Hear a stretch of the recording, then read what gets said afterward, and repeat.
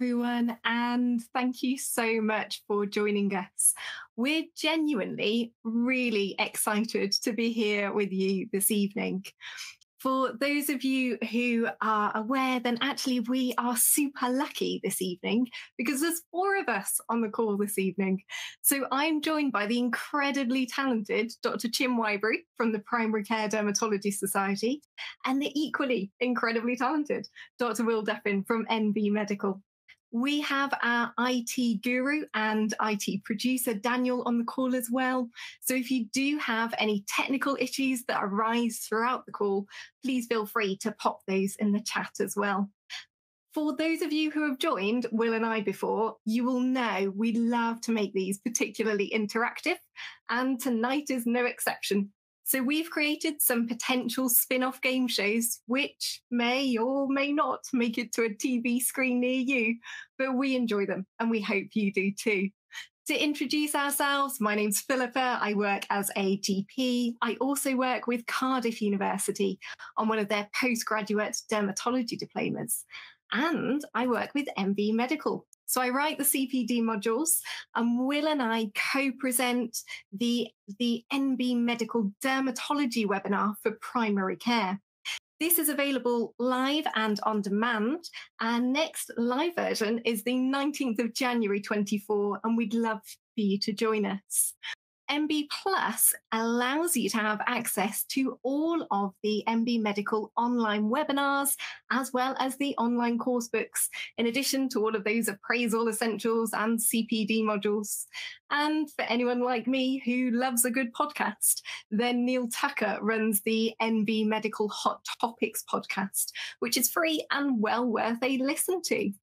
NB Medical have also created the NB On Call app. This is available to download on your phones and it's also available on the NB dashboard as well. You do need a GMC number to sign up, but once you've signed up, then it is a platform where you can openly share your clinical and non clinical cases, and you can draw upon the collective experience of our peers. Now, I mentioned we're incredibly lucky because we're joined by the amazing Chin Whybrew. So I'm going to hand over to Chin to introduce herself. Evening, Chin. Hello, Philippa. Thank you very much for having me. Um, I am Chin Whybrew and I'm a GP in Cheltenham. And I do lots of dermatology and particularly dermoscopy teaching, both for the Cardiff Dermatology Diploma, Cardiff Dermoscopy course, and also in my role as dermoscopy lead for the Primary Care Dermatology Society or PCDS. And I shall hand over to Will to introduce himself. Good evening, Chin, and good evening to you at home. It's amazing to see so many of you join us. There were over 1,700 signups for this webinar, which speaks to what an incredible topic this is and the expertise we've got in, in Chin and Philippa. Hello to you in West Wexford, Dublin, West Sussex, Somerset, Preston, from all over the, the UK and beyond.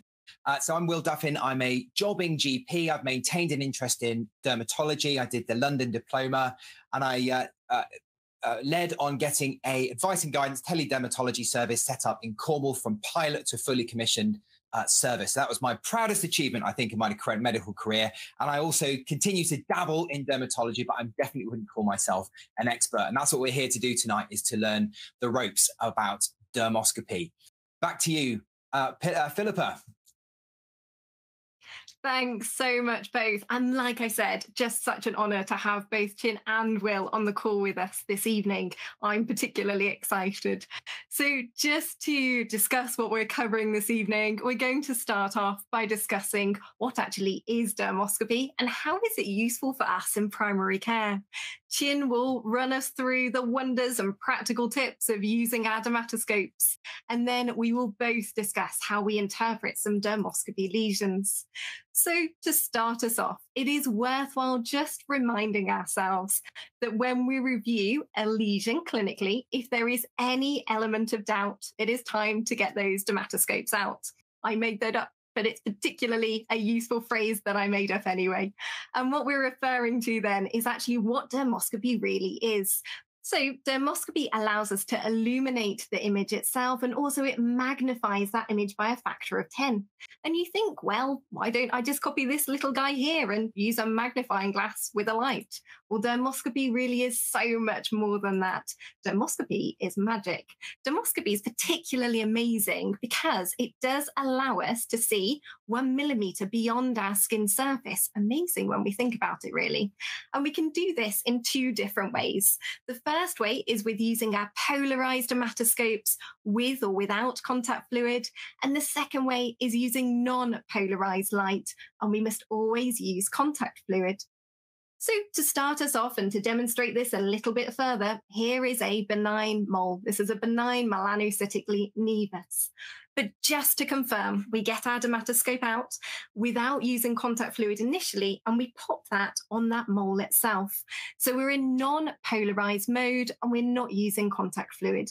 What we've done is, yes, we've illuminated the image itself, and yes, we have magnified the image by a factor of 10. But unfortunately, using non-polarized dermoscopy with non without contact fluid, this isn't dermoscopy if we do not have contact fluid, then we need to be in our polarized mode. And the reason why is your polarized dermoscopy, this is a cross polarized device. And again, particular magic happens here because with this cross polarized device, it allows us to reduce the scatter of light off the surface of our skin and it also reduces the amount of light reflected off the surface of the skin, increasing light refraction, allowing us to see all of these structures here. And I'm sure we don't need to, um, to look twice to convince ourselves that the image on the right is far clearer than the image on the left. And then we think, actually, I'm going to improve the quality of this image. I'm going to use my contact fluid and rest assured, Chin's going to work her magic and talk us through contact fluid shortly. So we take our dermatoscope off, we pop our contact fluid onto our skin, and then we pop our dermatoscope back on. Now we're back in our non-polarized mode. And can we see here, again, we've just reduced the amount of light reflected off the surface of the skin. We've matched that refractive index with the skin and the air. And look, we're now able to see structures within the stratum corneum itself. So see everything far clearer. Photo on the right then is still your polarized light, but now we're using contact fluid. We've just improved our quality of our image. And also, actually, we've reduced the amount of light reflected off those surface hairs themselves. What we're now able to see is this symmetrical pigment network. We see this symmetry of structure. And actually, we're absolutely able to reassure this is a benign mole benign melanocytic nevus. If you were wondering, well, what mode should I actually be in, particularly those of us who have hybrid dermatoscopes? What we're looking at then is really depends on the structure of the skin lesion that we're looking at. Now, the key feature with this is that your polarized dermoscopy, this allows us to penetrate the skin more deeply. So as a result, we're able to see deeper structures in polarized mode. Now, if we take a lesion such as a seborrheic keratosis, this is a benign keratinizing lesion, but it's an epidermal structure. So as a result, therefore, ideally, actually, you want to be a non-polarized dermoscopy because this penetrates the skin less deeply. So we see less deeper structures. Now, just to demonstrate on both photos here, we're able to see that sharply demarcated edge, but look at non-polarized dermoscopy with contact fluid. Can you see those beautiful milia-like cysts, those shiny white structures that are jumping out at us and those brown to black comedo-like openings? Both features of a SEB-K. Interestingly, if you have a polarized dermatoscope, then you can actually flick between your two modes. So you can flick between polarized and non-polarized. And those milia-like cysts, they jump out at you like stars in the midnight sky. And that's known as blink sign. So quite a nice trick to try in clinic. Now, going back to the principle then of when we're looking at deeper structures, ideally we want to be in our polarized mode. Now, sadly, there are certain structures such as um, eh, what we see in our melanomas, for example, where it, we're expecting to see certain features such as white lines. Now, white lines are particularly visualized far clearer using our polarized dermoscopy. The reason for this is if you look at the periphery of the photo on the right, can you see those white lines which are parallel and perpendicular to each other? This represents fibrin within the dermis. So again, deeper structures, we want to be in our polarized mode so that we're able to see these far clearer. And actually, we can't see them in our non-polarized dermoscopy. In both photos, absolutely, we can see photos of those or features of those irregular vessels. And interestingly, we can see this blue-white veil. Now, blue-white veil implies that there is overlying orthokeratosis, what this means in clinical principles is very sadly for this lady here, it means that her melanoma will actually be a thick, invasive melanoma. Now, I'm sure for all of us, if we saw dermoscopy images and even clinical photos like this, then absolutely we would be referring this through on that two week wait pathway, and that's completely appropriate here.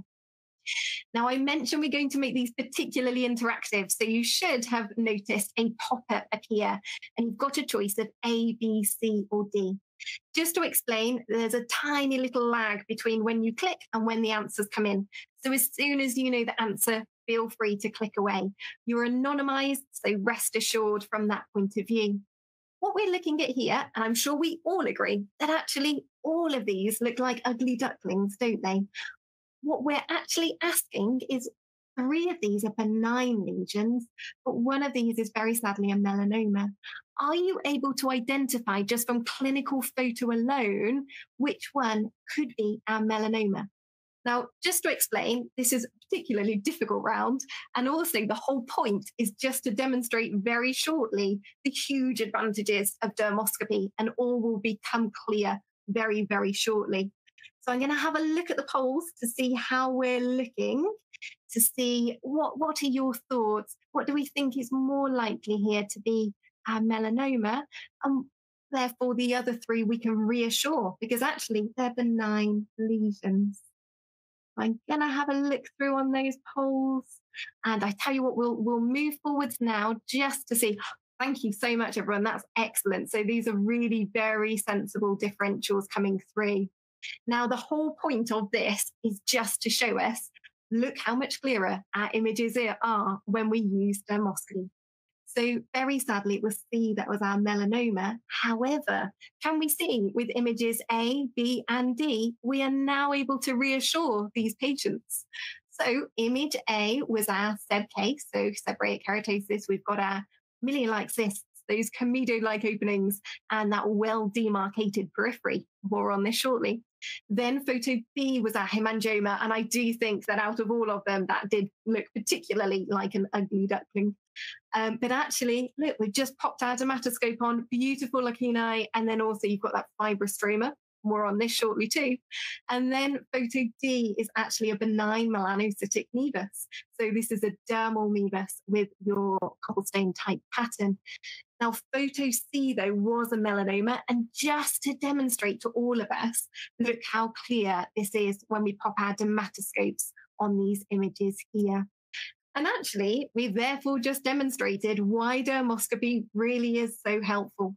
So we're able to improve not only the our recognition and referral of those suspicious pigmented lesions, but also we've reassured for our benign lesions and therefore reduce our referrals to our fantastic dermatology colleagues. It's also really helpful to assist with the diagnosis of our non melanoma skin cancers and even your precursor lesions such as AK and Bowen's as well as Will alluded to earlier, for those of us that have advice and guidance in our area, it allows us to send through particularly high quality images to our brilliant dermatology colleagues, which improves the response we receive back.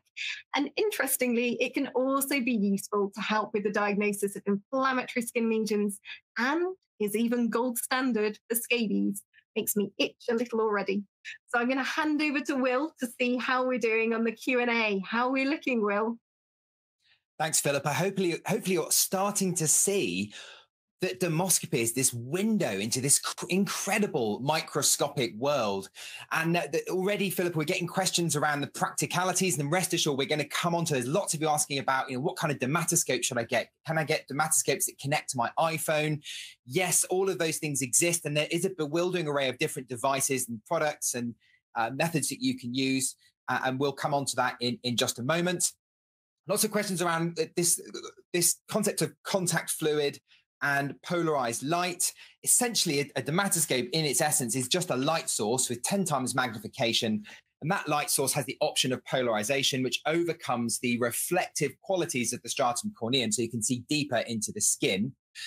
If you're doing dry dermoscopy, which is quick and easy, then you want polarized light because it allows that light to penetrate deep into the skin. You can see more detail. You can see those deeper structures beneath the stratum corneum.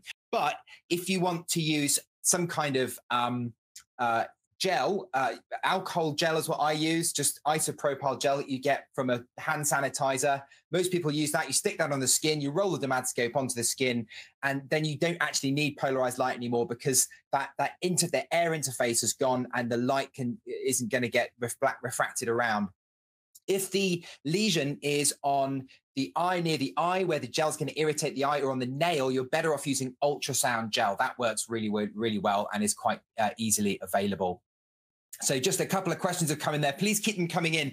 I'll just say there's 1,700 of you signed up. So I'll do my very best to, to cover as many questions as I can. But yeah, love your energy and enthusiasm. Keep it coming. Philippa, back to you. Oh, it's back to me actually, Will.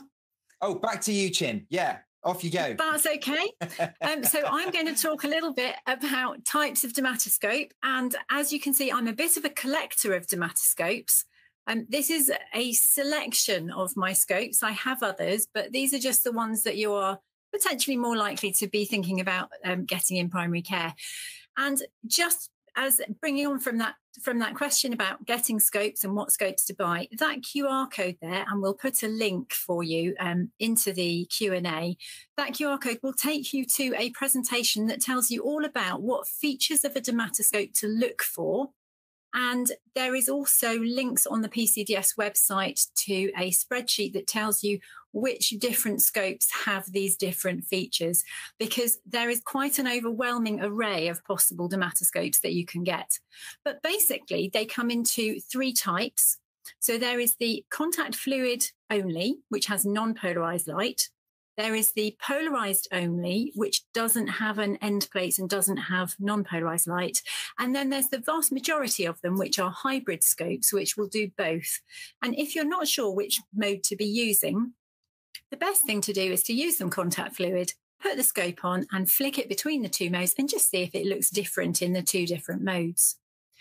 So, a few practical tips then on dermoscopy, and this is real practical stuff. So if you are sharing a dermatoscope within the practice, then it's important that you keep it somewhere safe, but also where everyone who needs to use it can find it easily. So we keep ours in a cupboard, which has a keypad code to it so that anyone can go and get it. And we keep ours, each scope is in a little tray with a charger and with an adapter to attach it to your phone. And what we ask people to do is to charge it each time before putting it back away in the cupboard, in the hope that occasionally people will actually remember to do that. And if they do, sometimes it'll get a decent charge because people always forget to put it back in the cupboard. A few other practical tips. Unfortunately, they're quite delicate things, dermatoscopes. And if you drop them, they break. So try not to. And you need to clean the end plate regularly. So you need to clean the outside of the end plate, this bit here, with a, a alcohol swab in between every patient anyway. Um, but some of them will have an enclosed end plate like this one, but other scopes will have a non enclosed end plate like this one. And with this type of scope, you do need to make sure that you take the end plate off to clean the inside of it, because if it gets dust on there, then your camera will actually want to focus on the dust and not on the lesion. Once you've cleaned the scope, the next step is to clean the patient. And if a patient comes in with a scab like this, although scabs are very, very beautiful on dermoscopy, actually it doesn't tell you much about what lies underneath it. So a wet paper towel gets that scab off, and then we can put the scope on and we can see enough information here to tell that this lesion is a BCC. If you've got a dry lesion, on the other hand, you can have one like this, where there are some black blotches here that look quite worrying. However, in this case, these black blotches are actually just dead flakes of skin. And the easiest way to get rid of them is with micropore tape. So you just get the micropore tape and you stick it on top of the lesion, peel it off, stick it on, peel it off. Do that a few times until it comes away clean. That's going to be three or four times. And then put your scope back on. And as you can see here, there are now no black blotches. They were all artifact. They were just flakes of dead skin.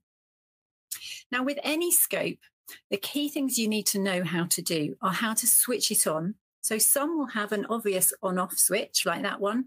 Others have no obvious on off switch and you just have to kind of feel around until you find something you can press and then something happens switching it on is important. You need to know how to switch it between modes.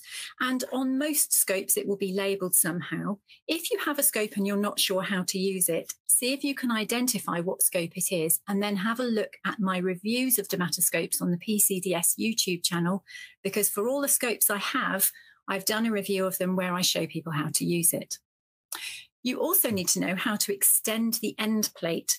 That's important because the way you focus the scope is by moving your magnifying glass closer to or further away from the skin. But because it needs to be in contact with the skin all the time, you do that by extending or retracting the end plate. And that is how we focus the dermatoscope. Next thing you need to know how to do is how to apply the contact fluid. And there are two main types of contact fluid that I would use. They would be the alcohol gel, or you can use ordinary lubricating jelly as well.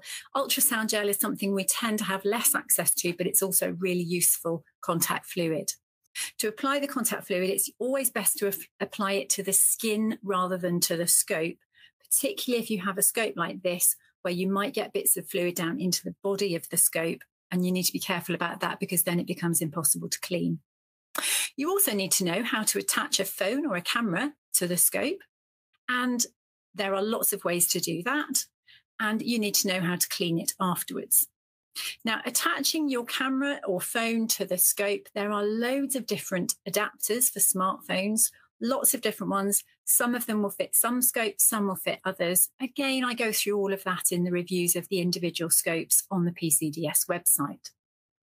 Now, when it comes to contact fluid, alcohol swab, so something like a Sterets, is great for a flat lesion, and you can just wipe it on the skin, put the scope on, wipe it on the skin, put the scope on. That's lovely because you don't have to clean it off the patient afterwards.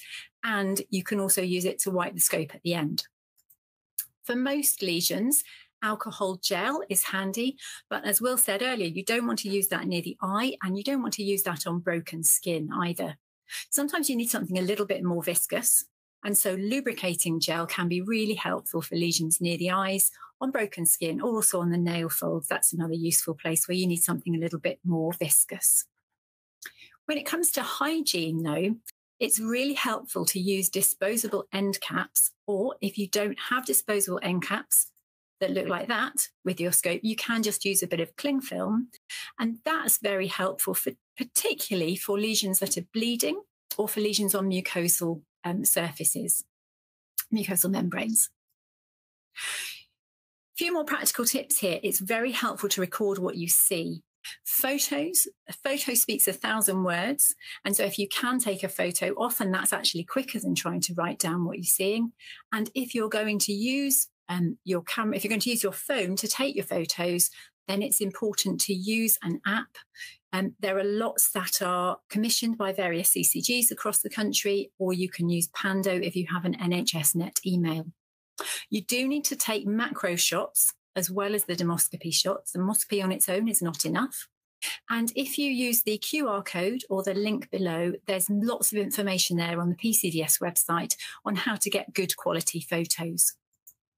Another great tip though, if you're taking monitoring photos, take a photo through the scope on the patient's phone so they have a picture too, so that when they go to see the dermatologist, the dermatologists have got a picture there of what it looked like three months ago.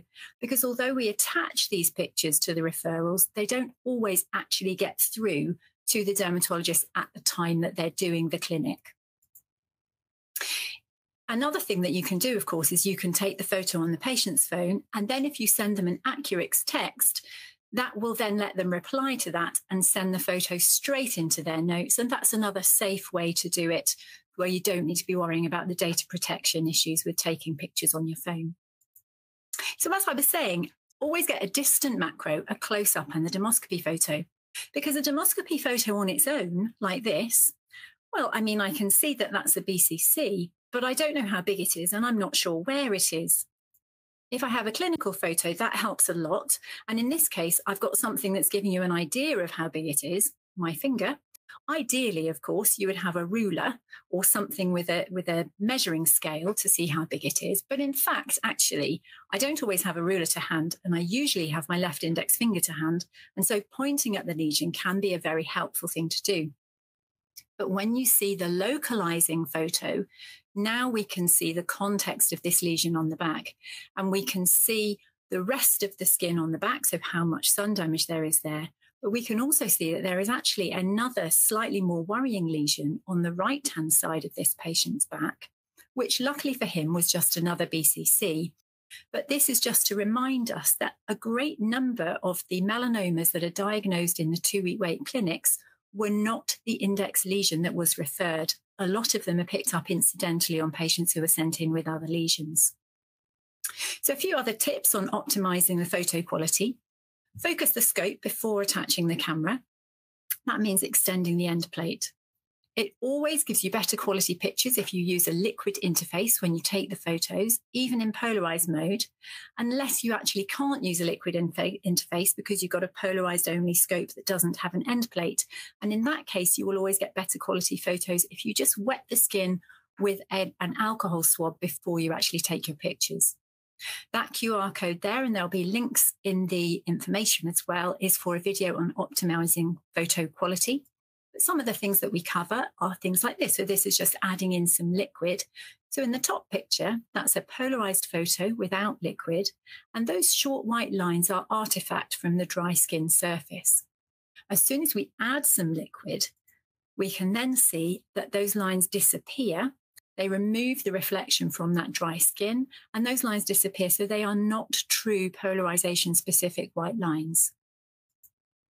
Pressure is another thing that can cause problems, and particularly for lesions like BCCs, where the blood vessels are very superficial, and that's one of the key features that helps us to diagnose them. It's very easy to press too hard with the end plate and compress those vessels. So, with less pressure, the blood vessels can be seen better.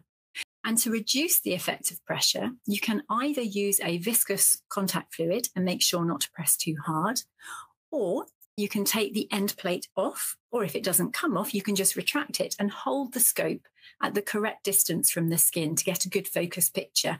If you've got a steady hand, you might need to rest your hand on the patient's skin to be able to hold it still. Little troubleshooting tip here. If you're seeing pictures that look like this with shadows in them, that's because you've forgotten to extend the end plate. And as you extend the end plate, the shadows disappear. So it's really helpful to have the end plate usually fully extended if you're taking pictures on a phone, and then you're less likely to get the shadows. If you're seeing reflections from the skin surface, like on the left hand side here, and the other thing that you'll notice on the left hand side here is that you can see these light beams coming in from the edges. That's because you're using non polarized light with no contact fluid. So you're not using your dermatoscope as a dermatoscope, you're using it as a magnifying glass. As soon as you switch it to polarized light, even without wetting the skin, those reflections disappear, as do those light beams coming in from the edges. Another great troubleshooting technique is bubbles. And one of the things that you may find is that you see bubbles in your pictures. Now, it's important not to have bubbles if possible, because there are some lesions where what we are looking for are white circles and the bubbles can look just like the white circles. So you'll get fewer bubbles if you apply the fluid to the skin rather than to the dermatoscope. And if you take it off to go and collect your camera and then to come back to take a picture, it's important to just wipe the fluid away from the skin and the scope and reapply it before putting the scope back on. And that way you won't get so many bubbles. And the other great tip for avoiding bubbles is to use a less viscous contact fluid such as alcohol gel, rather than, um, so yes, alcohol gel rather than the lubricating jelly or ultrasound gel. So that's a quick skim through some um, troubleshooting techniques. And I'm going to hand back to Will now for any comments or questions. Yeah, thanks. Thanks very much, Chin. I, I, think for, for me, it's it's all about just getting a device that you can use, that you're familiar with, that works with whatever system you use. I mean, just to give you an example, I've got a Welch Allyn um, uh, otoscope and ophthalmoscope, and the, the dermatoscope I use connects onto the same head, so I, it's the same power source, and that for me just works, and it's always charged, and I never run out of batteries. Um, and then you just want a little case you can keep it in with your bits in it, like your alcohol gel and your wipes and stuff. And just, I just stick a dermatoscope. I don't know about you, Chin. I stick a dermatoscope on absolutely everything that I see. And I think that's how you learn is just through using it and doing it and getting a sense of what normal and abnormal looks like. There's loads of technical questions about uh, particularly attaching an, an, iPhone adapter to different brands of dermatoscopes. And yes, you can do that. I don't know about you, Chin, but I find them really frustrating because they're very specific to the model of phone. Every time you upgrade your phone, you need to buy a new adapter. I mean, if the Dermatic wasn't expensive enough, then you pay for the adapter on top and it you know, quickly adds up. And there are techniques for just holding your phone against the dermatoscope, particularly if you get the patient to hold the dermatoscope on the skin for you, gives you an extra pair of hands, and working out which of the three camera lenses is the actual functioning lens and lining that up with the the the viewfinder of the dermatoscope, making sure everything is in is in the same plane, you can actually get pretty good images. And without the faff, it does just take a bit of practice to to do that. Um, the, the only other question I'll I'll uh, I'll cover off quickly is. Can this be utilized? What, the, what is the limit of dermoscopy? We talked about looking at skin lesions, and that is the, the primary uh, application is differentiating benign from malignant neoplastic lesions. But there's inflammoscopy, which helps you to uh, identify inflammatory dermatoses, things like psoriasis. And then another delegate's asked, can it be utilized for fungal or parasitic skin infections? And the answer is yes, that's an area of derm- dermoscopy called entomodermoscopy. And there are well described patterns uh, looking at features for uh, parasitic skin infections, things like nits and scabies and viruses and fungi. So, yes, there is an application there as well. It's very much an emerging area, but we're really trying to focus on the, the getting the basics right here on this course, which is why we're placing a lot of emphasis on just getting good quality images so you can start looking at real skin and getting a feel for how it all works. Definitely start your focus and your learning on examining skin lesions rather than worrying about those other slightly more esoteric uh, areas of dermoscopy. Chin, anything else you'd want to to add to all of that? I think you've covered that beautifully. And I think the key thing when it comes to the different scopes and taking photos, um, if you've got a phone with multiple cameras, you're absolutely right. You need to check which camera it is there are a few other problems that people can have sometimes with multiple cameras where it flicks between one camera and another. And there are some changes you can make in the settings to sort that issue out. And, and I've put that all on the um, PCDS website on that first front page of the dermoscopy bit. And when you're holding the camera to the to the um, phone, what you need to do is just try and make sure that it's lined up enough so that what you're seeing on your screen looks circular rather than oval. And then you know that you've got it flat and lined up beautifully. But there are so many different adapters. You're absolutely right. And working out which adapter is going to be the most useful to attach magnetically depends on whether you've got your own phone, whether you're sharing um, a scope with somebody else. There, there are loads of different things, but there are some universal adapters that will work with any phone and that will work with most, but not all scopes. There are some scopes that are different, but there's just so many of them. So I get asked that question all the time, which is the best scope to buy or um, or sort of, you know, which adapters to use and what goes with what. And so I've put it all on the PCDS website largely as videos, but also as a spreadsheet as well, just to make it easier for people to see that. Lovely. I think we can hand over to Philippa now for the next bit.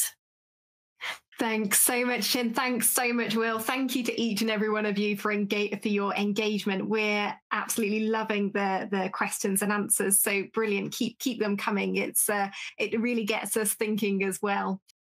And I think what we will now come on to then are our dermoscopy images and how we're going to interpret them.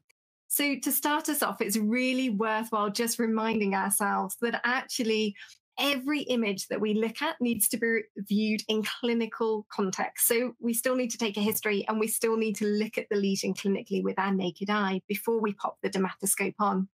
And then we look at each lesion specifically. So if we're looking at our seborrheic keratoses, these are also known as SEBKs, warts, and our histopathology colleagues refer these refer to these as our basal cell papillomas. All the same structure, just different terminology. And you might wonder, well, why do SEBKs actually cause us a headache? And the reason why is they often fall foul of our ABCD criteria, especially when they're traumatized, especially when they're irritated. So we pop our dermatoscope on. Remember, we're in our non polarized mode using our contact fluid. And what we're able to see is this very well demarcated periphery. They're epidermal structures. So as a result, we're seeing that they have this stuck on type appearance appearance with that rough, waxy surface. We're then able to see as the arrows are depicting your milia-like cysts, so those shiny white structures, and your comedo-like openings. Now, really interestingly, your comedo-like cysts and milia-like opening, or milia-like cysts and comedo-like openings, they're the same structure. So they are flat sheets of keratin that is welled and swelled around together. And when it's made it to the epidermis, then and it's oxidized by the air, then this then forms your comedo-like openings. And that's because the air has turned those sheets of keratin brown to black in color. And it looks like a chocolate chip muffin and it looks like those chocolate chips they've just penetrated through the surface. So they're um, they're jumping out to us. So those chocolate chips that we can see there those are comedo like openings.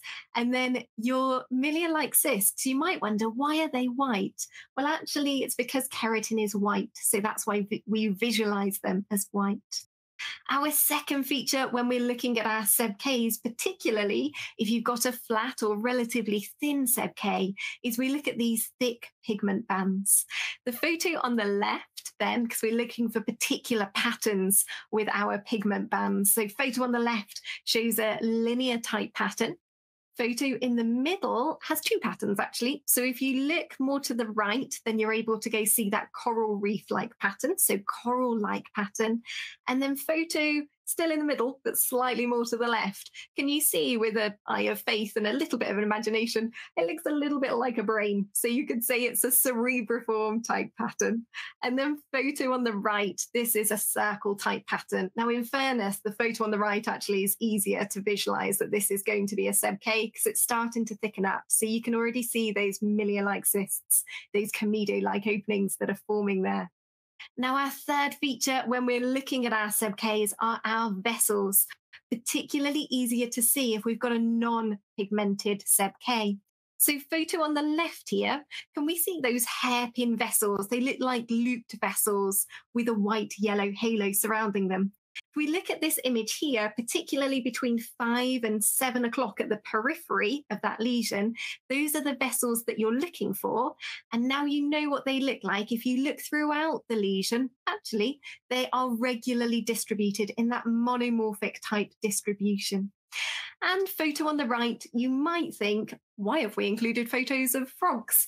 Well, there is a reason. If you look at the if you look at the SEBK head on or end on, then those vessels they actually look like frogs' eggs or frog spawn, and it's the same principle. So these vessels they're arranged regularly in that monomorphic arrangement throughout the whole of your SEBK.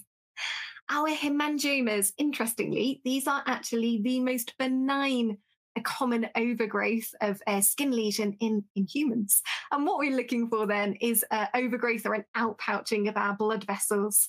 They are very soft on palpation, they're compressible, and actually they're blood coloured. So when we're referring to the colours themselves, if we look at the photo on the left, so cherry angioma or your Campbell de Morgan spot, then these are red, pink in colour. And when we look at other hemangiomas, absolutely, they can be blue and they can be purple. Interestingly, they can be black, and that is if they have been thrombosed. Couple of key learning points. First is they can never be brown and they can never be grey. And if we see those colours, this is not a hemangioma. Second feature then is, interestingly, your outpouchings of blood vessels. They're also known as lacunae or blobs of blood. And actually, that's what they look like when you're looking at that dermoscopy image. Now, these lacunae, they're separated by transparent lines, which are known as fibrous stroma, and they keep those blobs of blood or those lacunae in their own unique place. And also, it allows us to have that very sharply well demarcated edge, which we see with our hemangiomas. Interestingly, and second learning point with hemangiomas, we never see overlying surface vessels. If we do, this is not a hemangioma. And sadly, we need to be thinking of differentials, including malignancy in these particular scenarios. Here are some beautiful photos of our dermoscopy images of hemangiomas. And can you see those beautiful different colors that you're able to go visualize? So we have everything from our pinks to our reds to our purples, even some a black color there as well. Another very common benign lesion that we see are our. Now, these are thought to be a scarring reaction, and essentially, it, it is often secondary to minor trauma, such as an insect bite, very common on your limbs. Key feature with our is that they are palpable from the outset because it's scar tissue if a patient mentions that they've had a macular flat lesion that has gradually or suddenly started to develop a nodule within it, that is not a dermatofibroma. And again, we need to be thinking of other differentials, including malignancy. So your dermatofibroma there, always palpable from the outset. And the second feature that we then notice is that you end up having this post-inflammatory hyperpigmentation around the periphery itself. And it's this delicate, fine pigment network that is present. And like I said, in terms of its nature, that can be post-inflammatory, but that will always occur post palpable lesion itself. Remember, your dermatofibromas, they're firm, they're hard, they can be painful, but they're tethered to the skin itself. So if you squeeze either side of that dermatofibroma, then it dimples and the skin is dimpling, and that's known as dimple sign. Now look how much clearer though this is when we've popped our dermoscopy on. And what we're what we're able to see here is we see this central white structural scar-like patch. And we this is fibrosis. So this is always paler than our surrounding skin. And then we're able to see this peripheral pigment network. And this can be quite subtle and quite delicate, but it can be a reticular network, it can be a globular network. But two key features we see with our dermatofibromas. Uh, our next case, which is a sebaceous gland hyperplasia, so, in these scenarios, these are overgrowths of your sebaceous glands. These are oil glands of our skin, most commonly of the face, but they do mimic BCCs, as demonstrated by this clinical photo here. And what we're looking at then when we pop our dermatoscopes on is we're able to see this central yellow gland opening surrounded by white lobules. And these are similar in size and structure. And when you pop your dermatoscope on and actually we look at this, we are reminded of marshmallows. So if we see a structure that looks very similar to marshmallows with surrounding that central yellow gland opening, be thinking actually, could this be sebaceous gland hyperplasia? And then at the periphery, we're looking at these crown vessels. They never cross the central gland opening. And they uh, remember that they never originate from the central gland itself. So coming from the periphery, so crown vessels. I'm going to hand over to Tip to Chin to talk us through our BCCs. Thanks so much, Chin. That's lovely. And as Philippa was saying, sebaceous gland hyperplasia, the main differential diagnosis there is going to be a basal cell carcinoma. They can look really very similar clinically, but luckily the dermoscopy of them is completely different. And I've divided up the dermoscopy of BCCs into non superficial BCCs and superficial BCCs. And the reason for that is there are loads of different types of BCCs, um, lots and lots of different subtypes. But what matters to us clinically is whether they're superficial or not, because the superficial BCCs can be treated medically, but the non superficial BCCs need to be treated surgically. You can treat any type surgically, but only the superficial ones medically. So the non-superficial BCCs, the key features that we're going to find on dermoscopy are these sharply focused branching vessels. So in that top right picture, you can see there very nicely the sharply focused branching vessels, and the vessels get narrower as they branch, which is supposed to look like a tree. And so we call them arborizing vessels.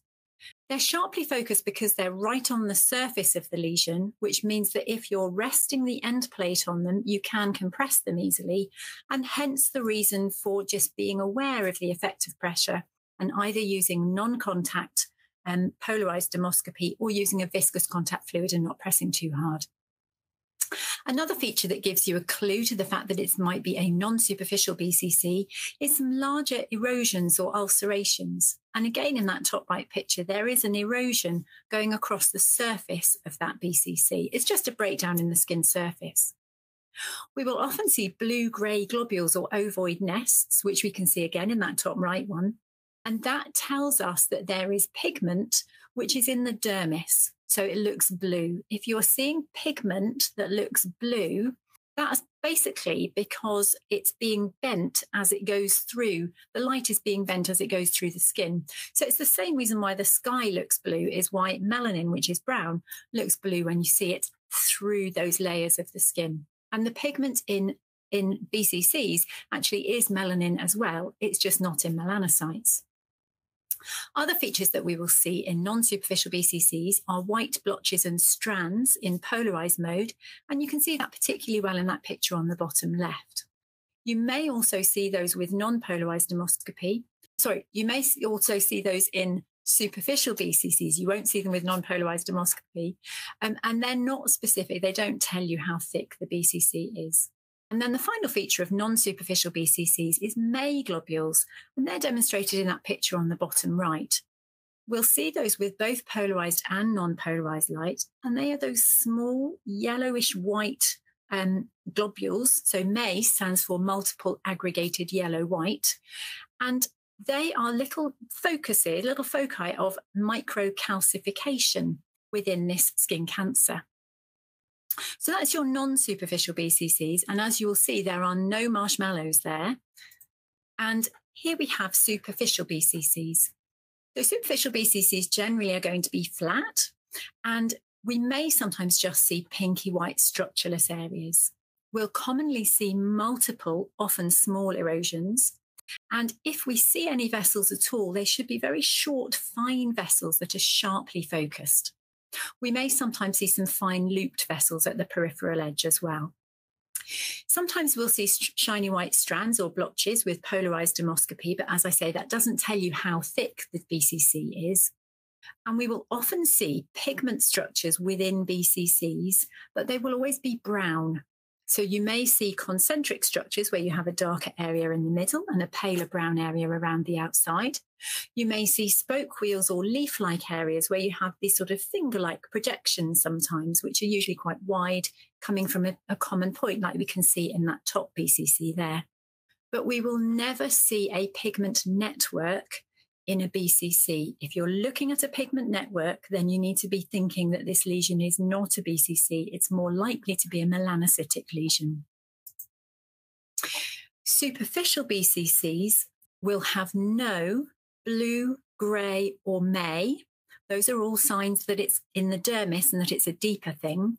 There will be no true arborizing vessels and there will be no large ulcerations.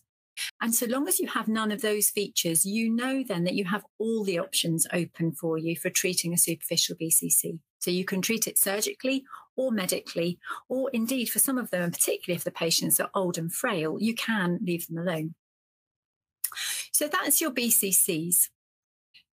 Now, one of the things that I mentioned there was that we will never see a network, pigment network in a BCC. And that's because a pigment network is one of the features of a melanocytic lesion. When we're talking about melanocytic lesions, what we are talking about is we're talking about lesions that are made up with the primary cell type being the melanocyte, which is the factory cell that makes melanin within the skin. Most of the skin cells are keratinocytes, which are not making melanin, but they're just holding the melanin that's been made in the factory cells. And these signs that give us a clue to the fact that the cell type might be a melanocyte are pigment network, globules, which are brown and sit next to each other. So we call them aggregated globules. Structureless blue, particularly where structureless blue is all that you see within the lesion. That's what we see with the blue nevus. And streaks, as we can see on the bottom left there. And one of the things with streaks, just to be aware of, so streaks are lines coming out um, of the lesion. And when you see streaks, that is a feature of malignancy. That's not a benign thing. And so if you see a lesion with streaks, it needs to be excised, particularly beyond puberty.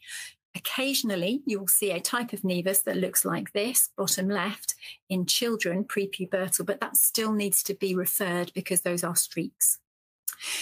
So those are, in fact, in this one, all benign lesions, but that bottom left one, just be aware of the streaks as a, as a potential malignant problem. So there are also some clues we can look for to melanoma. And the main and most important clue is asymmetry.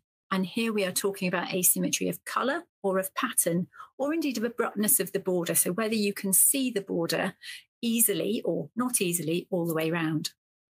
When we talk about symmetry here, we're talking about concentric symmetry. And the way I like to think about this is that if you cut it up like a pizza, does everyone get the same topping? And in this case, if you cut it like pizza, the person that gets the bit from the bottom just gets black, whereas the person that gets the bit from the right hand side will get black and brown. So that's not fair. So that's asymmetrical. Next feature is an atypical network. By atypical network, we mean a network which is not the same, it's not symmetrical across the whole lesion, or different types of network within a lesion or a network where the lines are thicker than the holes. And I'm just going to zoom in on that a little bit for you. So you can see there that the lines there are thicker than the holes. So that rather than looking like a sieve, like that original um, nevus looked like, this looks more like a colander with the thicker lines. Now, there are other lines that can give us a clue to melanoma, and these are white lines that are seen with polarized dermoscopy in particular. And if you see a lesion with white lines in, it doesn't mean it's definitely a melanoma. But if you have a melanocytic lesion with lots of white lines in, then melanoma is definitely on your list, probably top of your list of differentials. Streaks I'd mentioned before, and in that first picture where I showed you streaks, they were going all the way round symmetrically. Here we can see some asymmetrical streaks. They're coming down towards the bottom right hand side there. And that's the direction in which this melanoma is growing. Sometimes you just have completely irregular pigmentation and you look at it and you think, what's that? How can you possibly know what that is? If you're not sure what it is and it's a pigmented lesion, then melanoma has definitely got to be top of your list.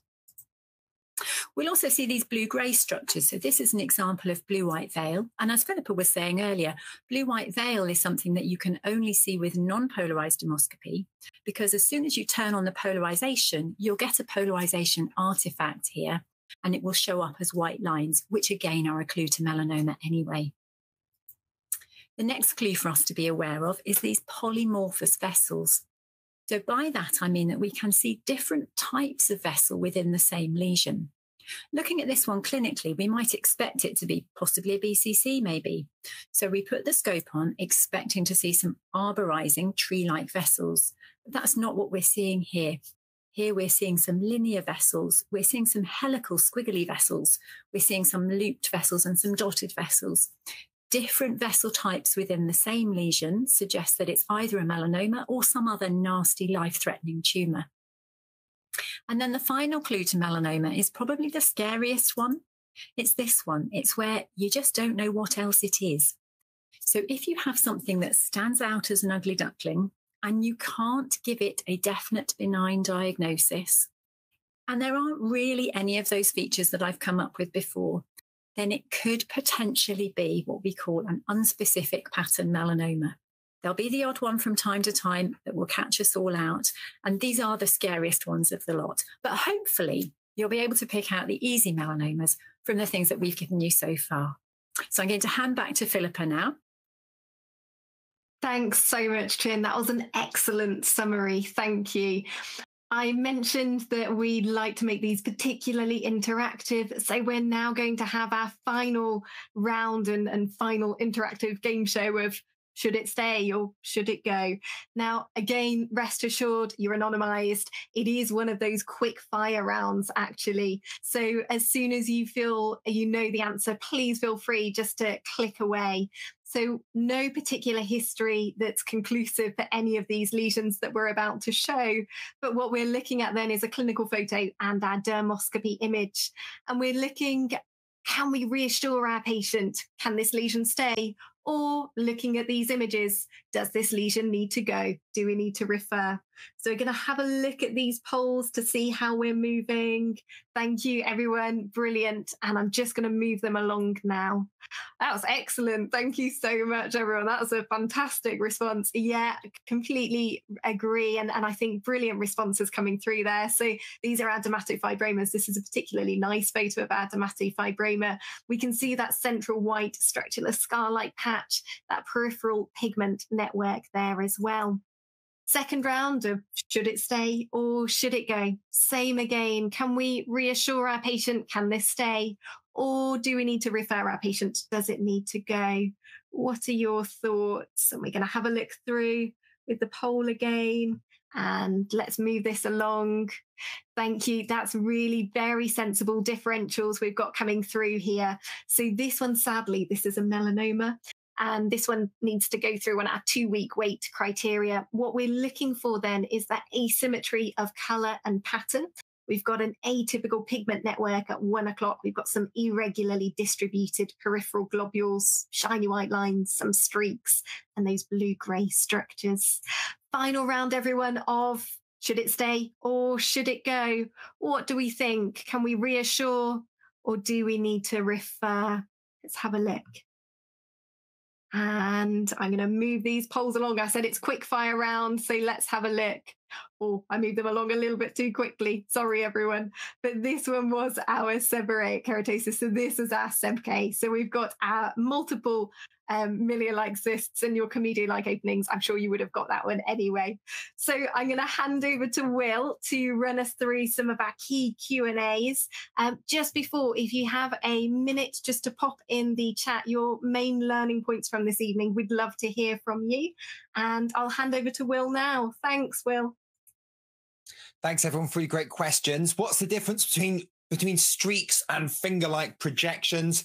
Broadly speaking, there's so much language in, in dermoscopy and dermatology as a whole. Uh, there's the kind of different American systems and British terminology that you'll find being used, but uh, broadly speaking, they're the same thing. If you see a lesion that's pigmented and it's got these angry-looking projections that come out, that's sticking out of the edge of it, that's a bad sign. Normally, a harbinger for melanoma normal healthy nevi tend to have a, a, pigment network that fades at the periphery. So those angry projections or streaks are usually a sign of melanoma. What's the difference between pyogenic granuloma and hemangiomas? Uh, I mean, pyogenic granulomas, as, as Philippa alluded to, are, are, largely featureless. There's this kind of uh, pinky texture to them, but they're, they're very non-specific. Whereas your your um, hemangiomas have you have these beautiful like lacunae, these like these kind of blobs of, of blood vessels that you can see, and it's one of those those, those when you first see it, you'll you'll you'll never miss it again. Equally with SEBKs, they have that the classical um, uh, features and, and when you start recognizing those and you start being able to confidently, positively diagnose benign lesions, that's the big early win that you can get with, with dermoscopy. And I definitely, um, expanding on that, I definitely recommend focusing on your benign lesions first before you then start trying to rule out melanoma. That's a much, much harder skill um, to master. And the final comment, so we are pressed for time, the final comment I wanted to pick up on is what about lesions on dark skin? So many of you have mentioned this. I'm afraid across the the dermatology sphere, all the books, all the image banks are all very weighted, heavily weighted towards Caucasian skin. It is a universal problem. Um, broadly speaking, the features are the same in types five and six Fitzpatrick skin, so Asian and black skin, uh, but some features are harder to spot, particularly vessels and and pigment look different to the untrained eye. And I just wanted to quickly just bring Chin in on this moment. Chin, what are the key differences in our uh, colleagues here who will be seeing non-Caucasian skin and, and, how they should be interpreting what they're seeing down a dermatoscope? Yeah, much of it is the same with just more pigment around, so you can't see the vessels so easily. Um, there are a few key differences. So, for example, BCCs can look very much more heavily pigmented and can mimic melanomas much more in pigmented skin. Melanoma is much rarer in pigmented skin, and so it's more likely that the lesions are BCC, but we will tend to refer them on a two week wait. But you know what? That's okay anyway, because a heavily pigmented BCC, that's always going to be your differential diagnosis is melanoma. So in general, things look pretty much the same, but just with more pigment in them. And if people are seeing lots of um, people with darker skin types and you're thinking, actually, I've got some really good clinical photos that would be great for sharing, have a look on the PCDS website. We have a consent form on there that anyone can use for anything anyway. But that also um, tells you exactly how to send us pictures to upload to the website so that we can get some of those pictures in as well. Yeah, great stuff, Chin. Thanks for those thoughts. Philippa, pass the baton back to you to, to close us close down the session.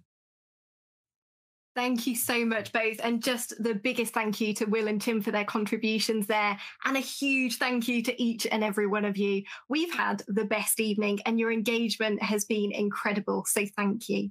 Just a reminder then to have a look at the fantastic primary care dermatology website. And on this, you will see, as Chin's already mentioned, which dermatoscope to use how to use those dermatoscopes, and perhaps most importantly, how to take a good quality image to send through to our fantastic dermatology colleagues. The Primary Care Dermatology Society are running a dermoscopy course for absolute beginners. This is available both face to face and as a webinar version. And they also have a live webinar version for this particular webinar on the 1st of February 2024. Will and I will be back on your screens as well on the 19th of January, and we're running our dermatology for primary care, where we cover lots of very common conditions we see in general practice on a day to day basis. We've had the best evening, and thank you so much for joining us. There will be a two minute feedback form at the end, and we'd love any contributions and recommendations you can suggest. We hope to see you all soon. Have a great evening, everyone. Thanks. Bye.